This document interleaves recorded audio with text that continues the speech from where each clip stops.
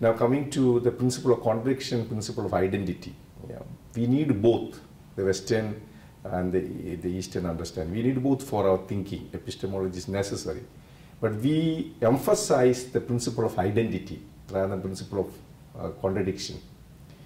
See, I see, I can see my relation in opposition to you or in relation to you. See, sometimes because we want to see our identity in opposition to the other. Most of our problems in the world is because of this. We see the, the other as opposite. In epistemology, we need this to, uh, for the principle anal to analyze, to scientific progress, to see the distinctions, that we are not confused. We need this principle of contradiction. But it goes to a kind of worldview, this epistemology, then becomes my, I am against my brother, or I am against the other country, our country is against the other country, our culture against other culture, our language against other, other language, our religion against other religion. So we could see also that on the other hand, in the Indian understanding of emphasizing the principle of identity, we see the relationality. We don't see an opposition. So we always seek uh, in, in, what way we can relate to the other. So he, that person also believing in God. Formerly we have our exclusivism, we Christian believes everything is idol worship. We have not seen what are the, no Hindu would say this idol is God. You see, it leads me to, to God. You see, it is said they may put flower, they may the worship, they give bath to the idol, all that, but they don't say exactly this is exactly God. That is for me that makes me relate to God. So we don't exclude, we don't we we, we uh, no more consider them as idol worship. They are worshipping in their own way. Probably they must be led to a higher understanding. Yeah. Symbols lead us to reality. We must we have to be open to this understanding. Then we will be more open to also relate with them in that sense. Then we see also goodness in our religion too. Yeah.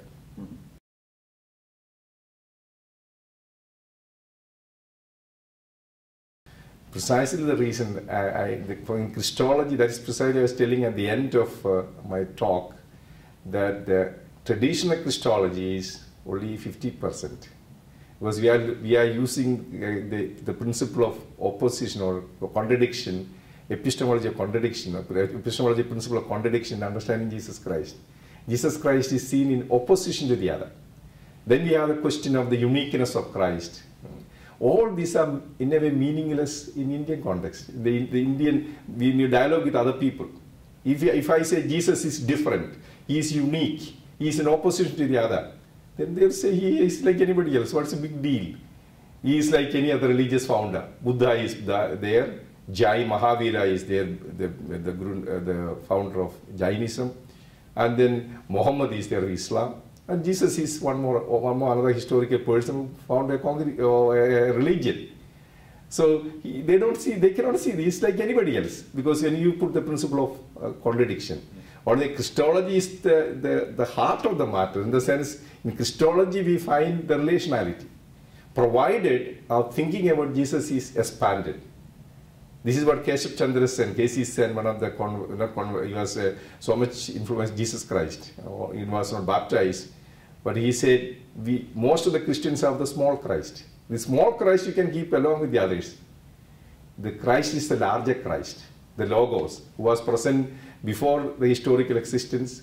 Is present also after the resurrection. He is present in India and Egypt and uh, in, in, in Europe and um, everywhere, Africa, he says everywhere. This this universe, this Christ who is present everywhere, whom we experience, this Christ cannot be compared. The moment you make a comparison, you make it small, then it's comparable. Then you use the principle of uh, contradiction. Yes. So it is, it is the, it's a, it's a, it's a expanded Christology. Christology that is not limited by boundaries. Actually, I'm writing a book on the Christ beyond boundaries. The, this is not, not uh, caught in dogmas and doctrines uh, which have Greek philosophical background. The Indian philosophy can uh, much more open up the mystery of Christ. We can never exhaust the mystery of Christ, but then it can give us new insight into the mystery of Christ. Therefore, as for us Indian theologians, we are we are blessed with the two worldviews. We are Christian, Western, also the heritage of the Indian uh, Christian thinking. Yeah, so Indian Indian philosophical and the Indian uh, way of cultural thinking. So we, we can see the, the, the connections the, the, the, between the two. We can synthesize much more. So it is not a contradiction, it is actually it is much more expanding the vision of Christ.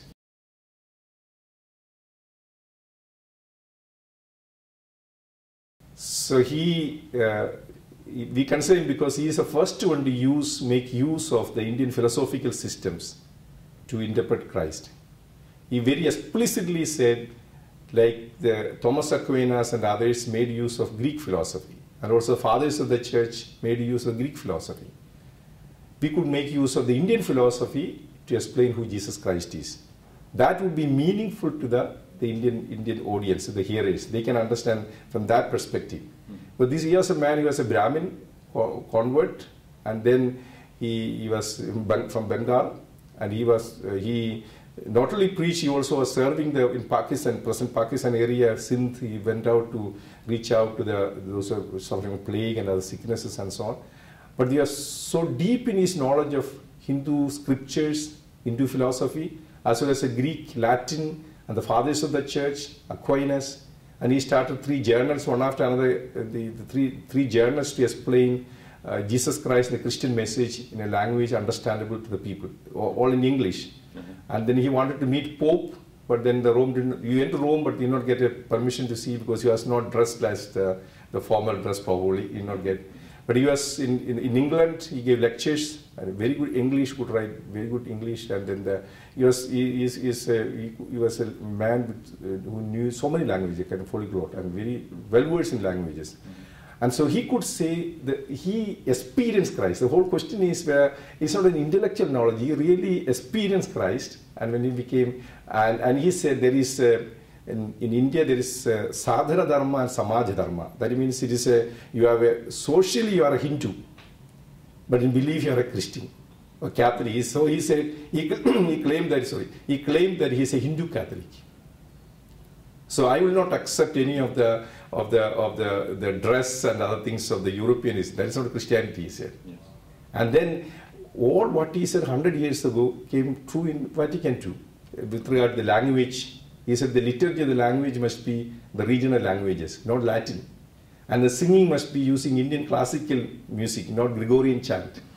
And then he's the, the then his bishop's son must be from the local place, not from the foreigners coming there. Though he had a very good relation with one of our MSFS Bishop Pelvat, Nagpur, who encouraged him to go on theologizing in this way. But then the apostolic delegate of that time stopped him from theologizing, and he stopped his journals. And so he was a man who is a, so some articles came, he is a prophet not recognized in his own time. And he's a religious life, ordinance way. Religious life must be ashram. Mm-hmm. Uh, and then he started an ashram in there. So he was a, a man uh, was completely dedicated to Christ and also dedicated to the, the culture and the philosophy of, of time. Then he made use, in the beginning he made use of the uh, Ramanuja philosophy, is second type of philosophy. The first one is Shankara is Advaita, non-dualism, or not one, not two.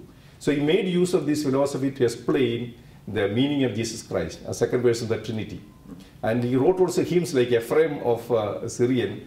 He not only wrote philosophical, theological treatises or uh, um, articles, papers, but also uh, hymns in Sanskrit, which are very, very uh, meaningful with the Trinity and also incarnation.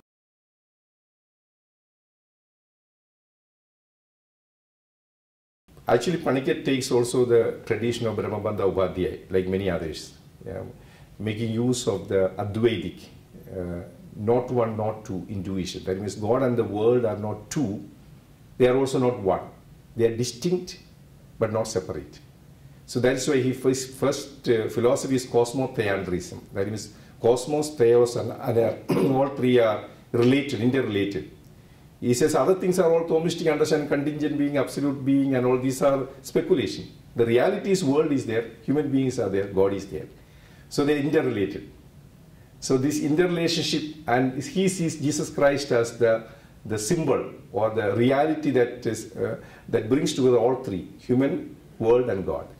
So this, this Christology actually takes also from the the, uh, the letter to the Colossians.